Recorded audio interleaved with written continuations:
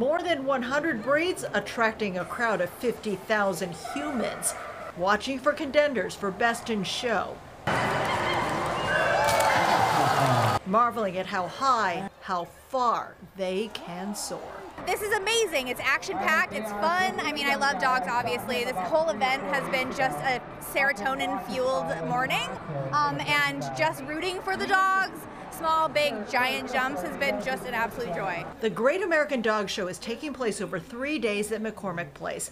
Hosted by the International Kennel Club of Chicago, it is a tradition that began more than 100 years ago. It's one of the first dog shows ever. It was in Chicago, and it was the Chicago Kennel Club.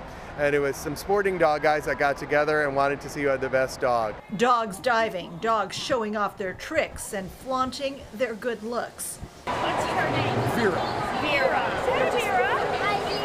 The Alaskan Malamute, Bedlington Terrier, Afghan Hound. They survived thousands of years, uh, despite people and wars and everything else. But they're not that common in Afghanistan anymore. They've come to America, Australia, uh, Europe, and England, and they live as wonderful pets. Meet the Breeds allows fans to get oh so close and to get some advice from the experts on the breeds that may be the best fits for their families. Do you have a dog? Two. You have two? Does this make you want to take home another dog? Or? Obviously.